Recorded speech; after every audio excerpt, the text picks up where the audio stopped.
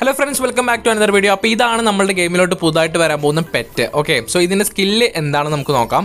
So പെറ്റിന്റെ skill എന്ന് പറഞ്ഞാൽ നമ്മുടെ മാപ്പിൽ നമ്മൾ ചൂസ് ചെയ്യണേ എവിടെയാണെങ്കിലും അവിടുത്തെ എനിമിയുടെ കൗണ്ട് എത്ര നമ്പറാന്ന് നമുക്ക് കാണിച്ചു തരും. ഓക്കെ ആറ് സെക്കൻഡിനെ സ്കിൽ ഉണ്ടാവുള്ളൂ. പക്ഷേ നമുക്കും നമ്മുടെ ടീംമേറ്റ്സിനും അവിടെ എനിമി ഉണ്ടോ എന്ന് നമുക്ക് കാണിച്ചു തരും. അതാണ് ഈ പെറ്റിന്റെ സ്കില്ല് ഏത് സ്ഥലത്താണെങ്കിലും മാപ്പിൽ നമ്മൾ ചൂസ് ചെയ്താൽ മതി. അവിടെയുള്ള ഒരു അമ്പത് റേഡിയസിന്റെ സർക്കിളിൽ എനിമീസ് ഉണ്ടെങ്കിൽ അതിന്റെ നമ്പർ നമുക്ക് കാണിച്ചു തരും നമ്മളുടെ ടീംമേറ്റ്സിനും അതേപോലെ കാണിച്ചു കൊടുക്കും. ഓക്കെ സോ പെറ്റിനെ എക്യുപ്പ് ചെയ്താൽ ഇതേപോലത്തെ ഒരു ഐക്കണ് നമുക്ക് ഗെയിമിൽ കാണാൻ പറ്റും. ഇത് ക്ലിക്ക് ചെയ്തിട്ടാണ് നമ്മൾ പെറ്റിന്റെ സ്കില്ല് ആക്ടിവേറ്റ് ചെയ്യേണ്ടത് ഓക്കെ പക്ഷേ ഇതിന്റെ കുഴപ്പമെന്ന് പറഞ്ഞാൽ ഒരു മാച്ചിൽ ഇത് രണ്ട് പ്രാവശ്യം യൂസ് ചെയ്യാൻ പറ്റുള്ളൂ. അതിൽ കൂടുതൽ യൂസ് ചെയ്യാൻ പറ്റില്ല.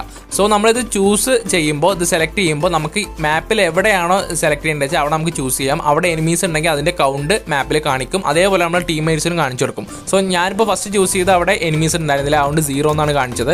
പിന്നെ ഞാനിത് ആ മാപ്പിൽ വേറെ ഒരു സ്ഥലത്ത് ഞാൻ ചൂസ് ചെയ്യാൻ പോവുകയാണ് അവിടെ ഞാൻ ചൂസ് ചെയ്തിട്ട് വെറുതെ കൊടുത്തു. അവിടെ രണ്ട് എനിമീസ് ആ സർക്കിളിനുള്ളിൽ ഉള്ളിൽ ഉണ്ട് എന്ന് കാണിക്കാൻ പറ്റും. ഓക്കെ അതുപോലെ തന്നെ ബി ആർ മോഡിൽ നമുക്ക് മാപ്പിൽ എവിടെ വേണമെങ്കിലും സെലക്ട് ചെയ്തിട്ട് അവിടെ എനിമി ഉണ്ടോ ഇല്ല എന്ന് നമുക്ക് ചെക്ക് ചെയ്യാൻ പറ്റും. ഓക്കെ രണ്ട് പ്രാവശ്യം ഇത് യൂസ് ചെയ്യാൻ പറ്റുള്ളൂ ഒരു മാച്ചിൽ പിന്നെ ക്ലൂ ക്യാരക്ടർ നമുക്കറിയാം. അത് ക്ലൂ ക്യാരക്ടർ പറഞ്ഞാൽ നമുക്ക് അൺലിമിറ്റഡ് ആയിട്ട് യൂസ് ചെയ്യാം. അതിന്റെ കൂൾ ഡൗൺ ടൈം കഴിഞ്ഞാൽ നമുക്ക് യൂസ് ചെയ്തുകൊണ്ടേ ഇരിക്കാം. ഇതിന് രണ്ട് പ്രാവശ്യം യൂസ് ചെയ്യാൻ പറ്റുള്ളൂ. പിന്നെ ക്ലൂ ക്യാരക്ടർ പറഞ്ഞാൽ എനിമി ഇരിക്കുകയാണെങ്കിലൊന്നും അത് സ്പോട്ട് ചെയ്യില്ല. പക്ഷേ ഈ ഒരു പെറ്റിന്റെ സ്കില്ല് വെച്ചിട്ട് എന്ത് ടൈപ്പിലാണ് എനിമി നിൽക്കണമെങ്കിലും ഇരിക്കണമെങ്കിലും കിടക്കണമെങ്കിലും ഒക്കെ നമുക്ക് എനിമിനെ സ്പോട്ട് ചെയ്യാൻ പറ്റും.